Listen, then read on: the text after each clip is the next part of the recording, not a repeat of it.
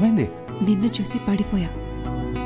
నీ వలనే చిరుయదలో సీతాకోకలేవో కిలకిలగా ఎగిరెనులే ఉన్నట్టుండి నాలో నా మనసే పరవశమై తనలో తానే ఏవో గుసగుసలే చెబుతోంది. ఏమంటుందో ఏమో మాటలు రాని మౌనముగా సాగే నాలో